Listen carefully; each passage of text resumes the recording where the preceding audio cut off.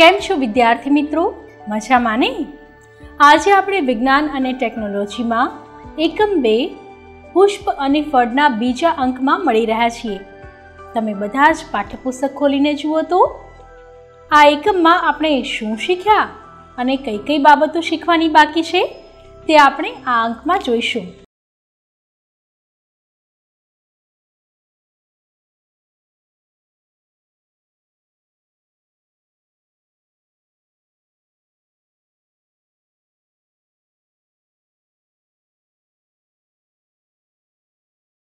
રસપ્રદ છે, જેમાં આપણે પુષ્પ અને ફળ વિશે શીખી રહ્યા છીએ. તમારામાંથી કોને ફળો બહુ જ ભાવે છે? બોલો તો.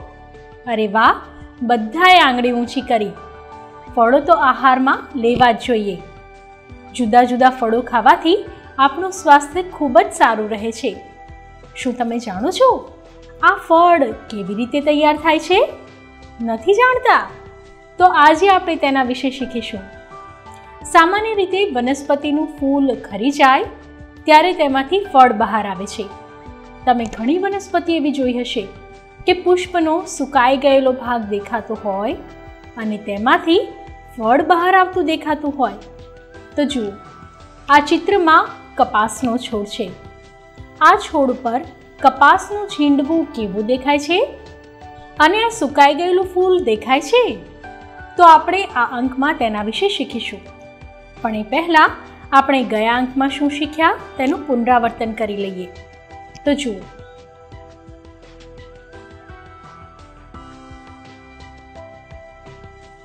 તો સૌપ્રથમ એકમની શરૂઆતમાં તમે વનસ્પતિના બધા જ અંગો દર્શાવતી આકૃતિ દોરી અને તેમાં મનગમતો રંગ પૂર્યો.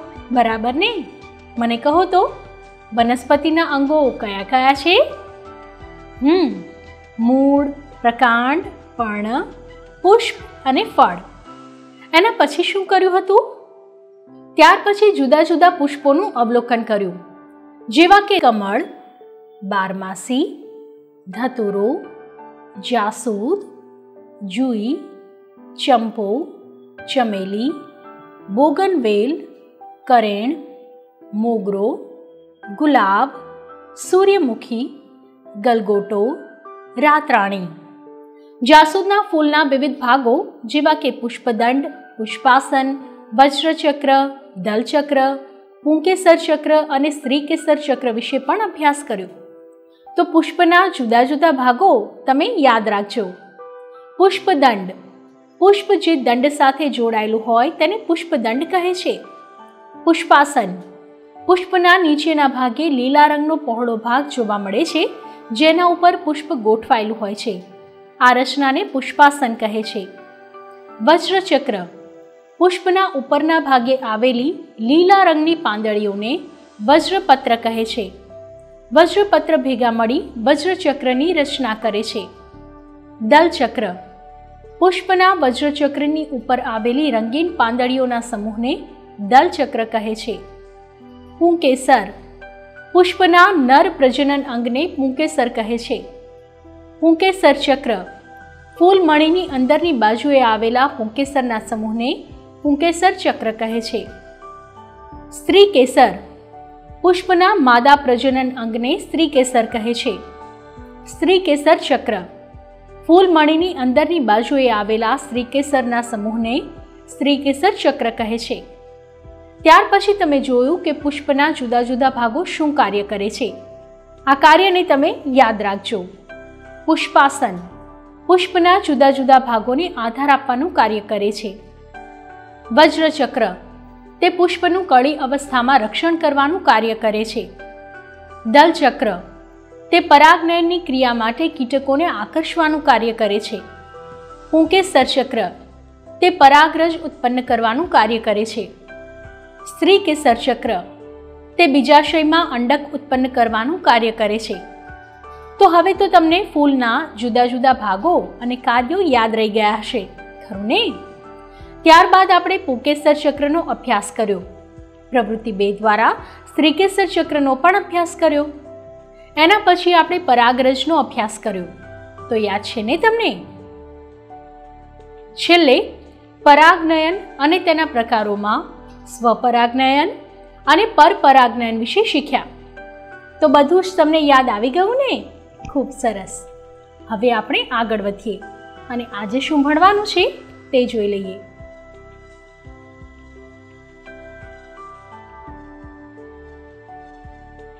સૌપ્રથમ પરાગરજના વાહકો વિશે આપણે જોઈશું, જેમાં પરાગનયનની ક્રિયા માટે પરાગરજનું વહન, પવન, પાણી અને કીટકો દ્વારા કેવી રીતે થાય છે તેના વિશે શીખીશું. પછી ફલન વિશે જોઈશું, જેમાં ફલનની ક્રિયામાં પુષ્પમાં ફલન થયા બાદ બીજાંડ વિકાસ પામી બીજ બને છે અને બીજાશયનો વિકાસ થઈ ફળ બને છે. તે વિશે આપણે જોઈશું. પછી ફળ અને તેના પ્રકારો વિશે સમજીશું. ફળના મુખ્ય બે પ્રકારોમાં માસલ ફળ અને શુષ્ક ફળ વિશે શીખવાનું છે. તેમજ તેના પેટા પ્રકારો જેવા કે શિંબ ફળ, પ્રાવર ફળ અને ધાન્ય ફળ વિશે પણ ભણવાનું છે. અને છેલ્લે સ્વાધ્યાયના પ્રશ્નોની ચર્ચા કરવાની છે. તો ચાલો, તમે નવું શીખવા માટે તૈયાર છો ને? તમે ગયા અંકમાં પરાગનયન અને તેના પ્રકારો વિશે ભણ્યા હતા. તમને યાદ છે? પરાગનયનની ક્રિયામાં તમે તે પણ જોયું હતું કે પુંકેસર પરની પરાગરજનું સ્ત્રીકેસર પર જવાની ક્રિયાને પરાગનયન કહે છે. તો ચાલો, હવે આપણે પરાગરજના વાહકો વિશે સમજીએ. તમને મનમાં થતું હશે કે પરાગનયન દરમિયાન પરાગરજ એક પુષ્પથી બીજા પુષ્પ સુધી કઈ રીતે પહોંચતી હશે? ખરું ને? તો ચાલો, આ બાબતને આપણે પરાગરજના વાહકો દ્વારા સમજીએ. પરાગરજ વજનમાં હલકી હોવાથી પવન સાથે ઉડીને કે પાણી સાથે તણાઈને વહન પામે છે. કેટલીક વખત દલપત્રોના રંગ તથા સુગંધથી આકર્ષાઈને ભમરો, પતંગિયું, મધમાખી કે પછી અન્ય કીટકો પુષ્પો ઉપર બેસે છે. ત્યારે તેમના શરીર સાથે ચોંટીને પરાગરજ વહન પામે છે. આમ પવન, પાણી અને કીટકો પરાગરજના વાહકો છે. પક્ષીઓને ચામાચીડિયા પણ પરાગનયનમાં અગત્યનો ભાગ ભજવે છે. તો તમે જોયું કે પુષ્પના પુંકેસરના પરાગાશીમાંથી પરાગરજ છૂટી પડીને પવન, પાણી અને કીટકો દ્વારા બીજા પુષ્પના સ્ત્રીકેસરના પરાગાસન ઉપર અથવા તો તે જ પુષ્પના સ્ત્રીકેસરના પરાગાસન ઉપર વહન પામે છે. સ્ત્રીકેસરના પરાગાસનનો આ ભાગ પહોળો અને ચીકણો હોય છે. તેથી પરાગરજ તેના પર ચોંટી જાય છે. હવે આ નર પ્રજનન કોષ વડે માદા પ્રજનન કોષનું ફલન કેવી રીતે થાય છે તે સમજીએ. તો જુઓ. આ છે પુષ્પનો સ્ત્રીકેસરનો ઉપરનો ભાગ, એટલે કે પરાગાસન. આ ભાગ ચીકણો હોય છે. પરાગનયન થવાથી પરાગરજ પરાગાસન ઉપર પહોંચે છે. પરાગરજમાંથી પરાગનલિકા ઉત્પન્ન થાય છે, જે પરાગવાહિનીમાં થઈને બીજાશય સુધી પહોંચે છે. આ પરાગરજ પરાગનલિકા દ્વારા બીજાંડ સુધી પહોંચી બીજાંડમાં અંડકોષ સાથે જોડાય છે. આ ક્રિયાને ફલન કહે છે. પુષ્પમાં ફલન થયા બાદ બીજાંડ વિકાસ પામી બીજ બને છે. અને બીજાશય એટલે કે ઓવરીનો વિકાસ થઈ ફળ બને છે. હવે તમને કપાસના છોડ ઉપર કપાસ સાથે ફૂલ દેખાતું હતું, તેનું કારણ સમજાયું હશે. મોટાભાગની વનસ્પતિમાં જ્યારે ફૂલ ખરી જાય છે, અને પછી જ ફળ તૈયાર થાય છે. તો જુઓ, આ ચિત્રમાં તમને ભીંડા દેખાય છે? અને આ ફળ સાથે ચોંટેલા ફૂલને જુઓ. તો આ ચિત્રમાં તુરિયાના વેલા દેખાય છે. તેમાં તુરિયા ફૂલમાંથી બહાર આવતા દેખાય છે. બરાબર ને? તો આ રીતે મોટાભાગની વનસ્પતિમાં ફૂલ આવે પછી જ તેના પર ફળ બેસે છે. તમે કોઈ વખત ફળોની વાડીમાં ગયા છો? જુઓ. ઝાડ પર ફળો કેવી રીતે ગોઠવાયેલા હોય છે? આ છે આંબાનું ઝાડ. તો જુઓ. ઝાડ ઉપર કેરીઓ કેવી લટકી રહી છે? અને આ છે ચીકુનું ઝાડ. તેના પર ચીકુ જુઓ તો. આ છે સફરજનનું ઝાડ. તો તેના પર આવેલા ફળ જુઓ. તમે જ્યારે પણ ફળોની વાડીમાં જાઓ, ત્યારે ઝાડ પર આવેલા ફળને જોવાનું ભૂલતા નહીં. તમે બધાએ ફળો જોયા પણ છે અને ખાધા પણ છે, ખરું ને? તો વિદ્યાર્થી મિત્રો, આ ફળ બે પ્રકારના છે. એક માસલ ફળ અને બે શુષ્ક ફળ. મોટાભાગના ફળો તમે જોયા હશે. કે તે ફળનો અંદરનો ભાગ ખૂબ જ માસલ અને રસાળ હોય છે. અહીં આપેલ દરેક ફળને ધ્યાનથી જુઓ. દરેક ફળની અંદર આવેલા બીજની ગોઠવણી પણ જુઓ. અહીં સફરજન, મોસંબી, કેરી, તરબૂચ, લીંબુ, પપૈયું, જામફળ, ટામેટા, સ્ટ્રોબેરીને કાપીને દર્શાવ્યા છે. જેને કમાલ! દરેક ફળની અંદર બીજ માસલ પ્રદેશમાં ગોઠવાયેલા દેખાય છે. તો આ પ્રકારના ફળને માંસલ ફળ કહેવાય. આપણે કહી શકીએ કે કેટલાક ફળમાં બીજાશયની દિવાલ માંસલ અને દળદાળ બને છે. જેમ કે કેરી, પપૈયું, લીંબુ, ટામેટા વગેરે. આવા ફળને માંસલ ફળ કહે છે. તો ચાલો, હવે શુષ્ક ફળનો અભ્યાસ કરીએ. તમે જોયું હશે કે કેટલાક ફળ પાકા થતાં બીજાશયની દિવાલ શુષ્ક એટલે કે સૂકી બને છે. જેમ કે વાલ, વટાણા, તુવેર, મગ વગેરે આવા ફળને શુષ્ક ફળ કહે છે. હવે મને એમ પણ કહો કે તમે આ સિવાય પણ ઘણા પ્રકારના શુષ્ક ફળ અને માસલ ફળ જોયા હશે, ખરું ને? તો તમે જાણતા હો તેવા ફળોની યાદી તૈયાર કરો. તો વિદ્યાર્થી મિત્રો, તમે જાણતા હો તેવા ફળો, એક પછી એક બોલો તો?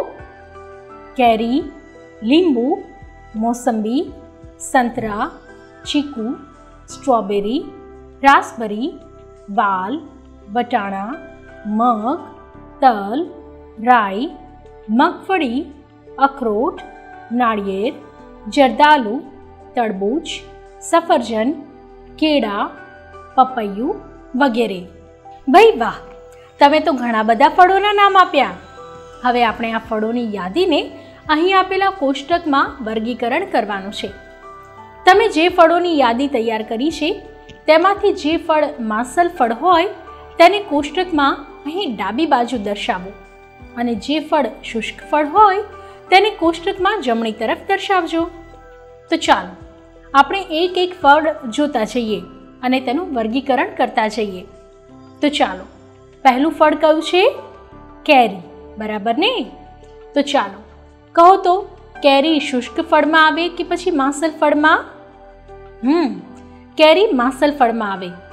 ત્યારબાદ લીંબુ, મોસંબી, સંતરા, ચીકુ, સ્ટ્રોબેરી, રાસબેરી વગેરે પણ માસલ ફળમાં આવે. બરાબર ને? ત્યારબાદ તમે શીખેલી વ્યાખ્યા મુજબ કહો કે વાલ એ શુષ્ક ફળ છે કે પછી માસલ ફળ? અરે વાહ, તમે તો ખૂબ જ હોશિયાર છો. તમારો જવાબ સાચો છે. વાલ એ શુષ્ક ફળમાં આવશે. ત્યારબાદ વટાણા, મગ, તલ, રાઈ, મગફળી, અખરોટ વગેરે પણ શુષ્ક ફળ છે. બરાબર ને? ત્યારબાદ નાળિયેર. હમ, બરાબર. નાળિયેર માસલ ફળમાં આવશે. મને કહો તો, જરદાલુ કયા ફળમાં આવશે? હમ, બરાબર. જરદાલુ શુષ્ક ફળમાં આવશે.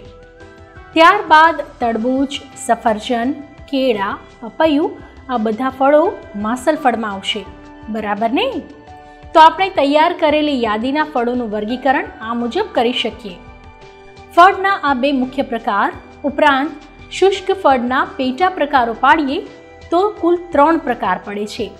શિંબ ફળ, પ્રાવર ફળ અને ધાન્ય ફળ. આ પ્રકાર આપણે વિશેષ જાણકારી મેળવવા માટે શીખવાના છીએ. તો જુઓ વિશેષ જાણકારીમાં આ ત્રણ પ્રકારો દર્શાવેલા છે. પહેલાં આ વિશેષ જાણકારીનું તમે વાંચન કરો. પછી આપણે તેના વિશે વિસ્તૃત રીતે સમજીશું. જે ફળમાં બીજાશય સળંગ જોવા મળે છે, તેવા ફળોને શિંબ એટલે કે સિંગ કહેવાય, જેમ કે વાલ, વટાણા, ચોળા. જે ફળોમાં બીજાશયના ભાગ પડે, તેવા ફળોને પ્રાવર કહે છે, જેમ કે કપાસ, ભીંડા. જે ફળોમાં ફળોનું ફલાવરણ અને બીજનું બીજાવરણ જોડાયેલા જોવા મળે, તેમને ધાન્ય ફળ કહેવાય. જેમ કે ઘઉં, મકાઈ, બાજરી. તો આ વાંચન તમે બધાએ કર્યું ને? તો ચાલો, હવે આપણે વિશેષ તેના વિશે સમજીએ. અહીં આપેલા ફળ સિંગના સ્વરૂપમાં જોવા મળે છે. અહીં મગ, વાલ, તલ, વટાણા, તુવેરની શીંગને ખોલીને બતાવી છે. દરેક ફળમાં અંદર આવેલા બીજ કેવી લાઈનમાં સળંગ ગોઠવાયેલા દેખાય છે? અહીં મગફળીને જુઓ. તેને ખોલીને જોતા તેમાં દાણા સળંગ ગોઠવાયેલા દેખાય છે. બરાબર ને? આ પ્રકારના ફળોની સિંગ સુકાઈ જતા શુષ્ક બને છે. તો આવા પ્રકારના શુષ્ક ફળને શિંબ ફળ કહેવાય. હવે આપણે શુષ્ક ફળનો બીજો પ્રકાર પ્રાવર ફળ વિશે સમજીએ. આ ચિત્રમાં ભીંડાનો ઊભો છેદ બતાવ્યો છે. તો જુઓ, આ ફળમાં બીજાશય સળંગ દેખાતો નથી, પણ બીજાશયના ભાગ પડેલા દેખાય છે. તો આ પ્રકારના શુષ્ક ફળને પ્રાવર ફળ કહે છે. અને હવે ધાન્ય ફળ વિશે સમજીએ. તો જુઓ, આ ચિત્રમાં ઘઉં, બાજરી, જુવાર, મકાઈના ડુંડા બતાવ્યા છે. દરેકમાં જુઓ, આ ફળમાં ફળનું ફલાવરણ અને બીજનું બીજાવરણ એકબીજા સાથે જોડાયેલું દેખાય છે. આ પ્રકારના શુષ્ક ફળને ધાન્ય ફળ કહેવાય. તો તમને આ વિશેષ જાણકારીમાં આપેલ માહિતી સમજાઈ ગઈ ને? ખૂબ સરસ. તો વિદ્યાર્થી મિત્રો, આ એકમ અહીં પૂરો થાય છે. ચાલો, હવે સ્વાધ્યાયના પ્રશ્નો જોઈએ. પાઠ્યપુસ્તકમાં તેના જવાબ તમારે લખવાના છે. જુઓ, સ્વાધ્યાયમાં કુલ ત્રણ પ્રશ્નો છે. પહેલો પ્રશ્ન છે, કહો, હું કોણ છું? અહીં પ્રશ્નમાં આપેલ વિગતને વાંચી તેનો જવાબ હું કોણ છું તેમાં આપવાનો છે. મારા પર પુષ્પ ગોઠવાયેલું હોય છે. કહો તો, પુષ્પ કયા ભાગ પર ગોઠવાયેલું જોવા મળે છે? હમ, બરાબર. પુષ્પાસન પર પુષ્પ ગોઠવાયેલું હોય છે. તો ક્રમ એકમાં જવાબ લખો, પુષ્પાસન. હવે ક્રમ બેનો સવાલ જુઓ. હું કડી સ્વરૂપે રહેલા પુષ્પનું રક્ષણ કરું છું. તો મને કહો તો, પુષ્પનું કડી સ્વરૂપમાં રક્ષણ કોણ કરે છે? યાદ છે તમને? ખૂબ સરસ. વજ્રચક્ર. તો અહીં જવાબ લખો, વજ્રચક્ર. હવે ત્રીજા ક્રમ, હવે ક્રમ ત્રીજાનો પ્રશ્નમાં છો. હું પુષ્પનો રંગીન અને સુગંધીદાર ભાગ છું. આ પ્રશ્નનો જવાબ તો બધાને આવડે, ખરું ને? કયો છે પુષ્પનો રંગીન અને સુગંધીદાર ભાગ? હમ, એકદમ સાચું. પુષ્પનો રંગીન અને સુગંધીદાર ભાગ છે દલચક્ર. તો જવાબમાં લખીશું, દલચક્ર. તો પ્રશ્ન એક પૂરો થયો. હવે આગળ વધીએ. પ્રશ્ન બેમાં પુષ્પનું ચિત્ર આપેલું છે. આ પુષ્પમાં જે જે ભાગ ઉપર તીર દર્શાવ્યા છે, તે ભાગને ઓળખીને તેનું નામ લખવાનું છે. તો તમે જુદા જુદા પુષ્પનો અભ્યાસ કરી લીધો. તો આ પુષ્પના ભાગોને ઓળખો અને નામ જણાવો. પ્રશ્ન બે. આપેલી આકૃતિમાં પુષ્પના ભાગોના નામ દર્શાવો. તો જુઓ. આપેલા પુષ્પમાં સૌથી ઉપર જમણી તરફ તીર દર્શાવ્યું છે, તે ભાગ પરાગાસન છે. ત્યાં નામ લખો. હવે જમણી તરફ વચ્ચેનો ભાગ જુઓ. તમે જાણો છો, પુષ્પની મધ્યમાં શ્રીકેસર આવેલું હોય છે. હવે એ જ ભાગને નીચે જુઓ. શ્રીકેસરના પાયાનો ભાગ ઉપસેલો દર્શાવેલો છે. તો આ ભાગને શું કહેવાય? બોલો તો. હમ, બરાબર. આ ભાગને બીજાશય કહેવાય. તો તમે પણ આ ભાગની સામે બીજાશય લખો. હવે પુષ્પની ડાબી તરફ કરેલા તીરને જુઓ. અહીં પહેલું તીર ફૂલની પાંખડી એટલે કે દલપત્ર ઉપર કરેલું છે. તો ત્યાં લખો દલચક્ર. હવે પુષ્પના સ્ત્રીકેસરને જુઓ. ડાબી તરફ બીજાશયની અંદર આવેલા ભાગ ઉપર તીર કરેલું છે. આ ભાગને બીજાંડ કહેવાય. તો અહીં લખો બીજાંડ. તો આ પ્રશ્ન પણ પૂરો થાય છે. હવે પ્રશ્ન ત્રણ જુઓ. નીચેના ફળોનું માસલ ફળ અને શુષ્ક ફળમાં વર્ગીકરણ કરો. મગફળી, લીંબુ, ટામેટા, કાકડી, દૂધી, વટાણા, કેરી, ચણા, રીંગણ, કારેલા અને જાંબુ.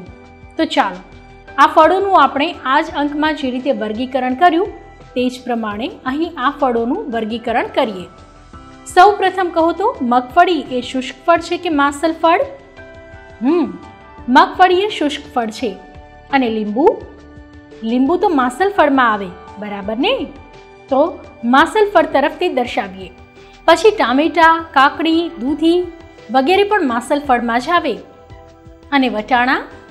વટાણાના બીજાશયની દિવાલ સૂકી હોય છે. તો મને કહો તો, તે શુષ્ક ફળમાં આવશે કે પછી માસલ ફળમાં? હમ, બરાબર. તે શુષ્ક ફળમાં આવશે. એના પછી કેરી? ભાઈ, કેરી તો માસલ ફળમાં જ આવે ને? અને ચણા ચણા શુષ્ક ફળમાં આવશે. ત્યાર પછી છે રીંગણ, કારેલા અને જાંબુ. તો આ ત્રણેય ફળો માસલ ફળમાં આવશે. તો અહીં આ રીતે આપણે ફળોનું શુષ્ક ફળ અને માસલ ફળમાં વર્ગીકરણ કરી શકીએ. તો વિદ્યાર્થી મિત્રો, આપણો આ અંક પૂરો થાય છે. આ એકમ પણ અહીં પૂરો થાય છે. તો ચાલો, આજના એકમમાં આપણે શું શીખ્યા તે જોઈ લઈએ.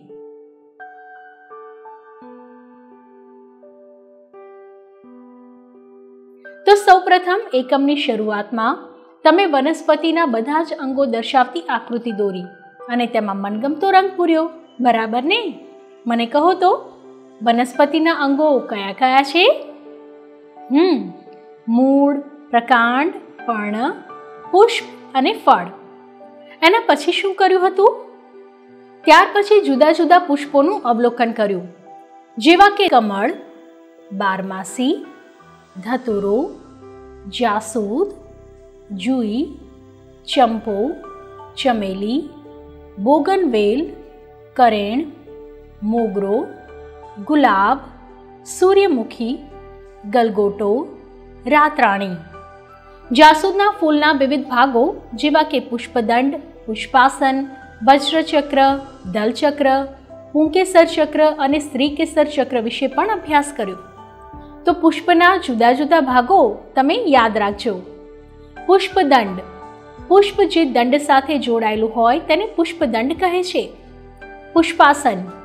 પુષ્પના નીચેના ભાગે લીલા રંગનો પહોળો ભાગ જોવા મળે છે, જેના ઉપર પુષ્પ ગોઠવાયેલું હોય છે. આ રચનાને પુષ્પાસન કહે છે. વજ્રચક્ર. પુષ્પના ઉપરના ભાગે આવેલી લીલા રંગની પાંદડીઓને વજ્રપત્ર કહે છે.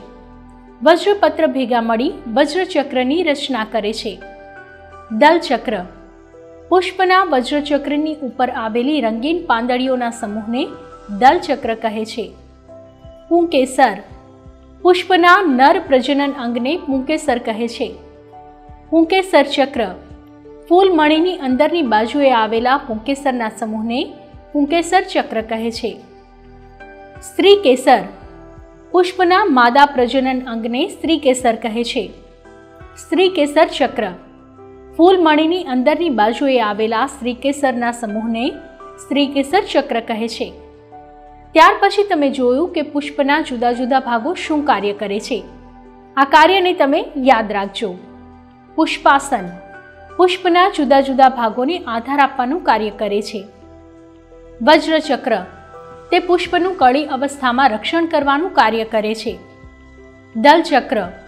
તે પરાગનયનની ક્રિયા માટે કીટકોને આકર્ષવાનું કાર્ય કરે છે. પુંકેસર ચક્ર તે પરાગરજ ઉત્પન્ન કરવાનું કાર્ય કરે છે. સ્ત્રી કેસર ચક્ર તે બીજાશયમાં અંડક ઉત્પન્ન કરવાનું કાર્ય કરે છે. તો હવે તો તમને ફૂલના જુદા જુદા ભાગો અને કાર્યો યાદ રહી ગયા હશે. ખરું ને? ત્યારબાદ આપણે પુકેસર ચક્રનો અભ્યાસ કર્યો. પ્રવૃત્તિ બે દ્વારા શ્રીકેસર ચક્રનો પણ અભ્યાસ કર્યો. એના પછી આપણે પરાગરજનો અભ્યાસ કર્યો. તો યાદ છે ને તમને? છેલ્લે પરાગનયન અને તેના પ્રકારોમાં સ્વપરાગનયન અને પરપરાગનયન વિશે શીખ્યા. એના પછી પરાગનયનની ક્રિયામાં પરાગરજનું વહન, પવન, પાણી અને કીટકો દ્વારા કેવી રીતે થાય છે તે સમજ્યા. તમે જોયું કે કેટલાક પુષ્પો રંગીન અને આકર્ષક હોય છે. આ ફૂલ તરફ કીટકો આકર્ષાય છે અને ફૂલમાંથી રસ ચૂસીને પોષણ મેળવે છે. તેમજ પરાગનયનની ક્રિયામાં પણ મદદ કરે છે. એના પછી પુષ્પના નર પ્રજનન કોષ અને માદા પ્રજનન કોષ એકમેકમાં ભળી જવાથી ફલનની ક્રિયા કઈ રીતે થાય છે તે સમજ્યા. ફલનની ક્રિયામાં તમે જોયું કે પુષ્પમાં ફલન થયા બાદ બીજાંડ વિકાસ પામી બીજમાં ફેરવાય છે. અને બીજાશયનો વિકાસ થઈ ફળ બને છે. ત્યાર પછી ફળો ધરાવતી જુદી જુદી વનસ્પતિના ચિત્રો પણ તમે જોયા. અને ફળોના મુખ્ય બે પ્રકારો વિશે સમજ્યા. તો મને કહો તો, ફળના મુખ્ય પ્રકાર કયા કયા છે? હમ, બરાબર. માસલ ફળ અને શુષ્ક ફળ. તો યાદ છે ને તમને? માસલ ફળ કોને કહેવાય? બરાબર. જે ફળમાં બીજાશયની દિવાલ માસલ અને દળદાળ બનેલી હોય તેવા ફળને માસલ ફળ કહેવાય. અને જે ફળ પાકું થતાં બીજાશયની દિવાલ શુષ્ક બની જાય, તેવા ફળને શુષ્ક ફળ કહે છે. આ બંને ફળના તમે નમૂના પણ જોયા. ત્યાર પછી શુષ્ક ફળના પ્રકારોમાં શિંબ ફળ, પ્રાવર ફળ અને ધાન્ય ફળ વિશે સમજ્યા. અને છેલ્લે સ્વાધ્યાયના પ્રશ્નોની ચર્ચા કરી. તો આજે તમે જે પણ શીખ્યા છો તે યાદ રાખજો. હવે આપણે જોઈએ કે આગળના અંકમાં મળીએ ત્યારે શું શીખવાનું છે?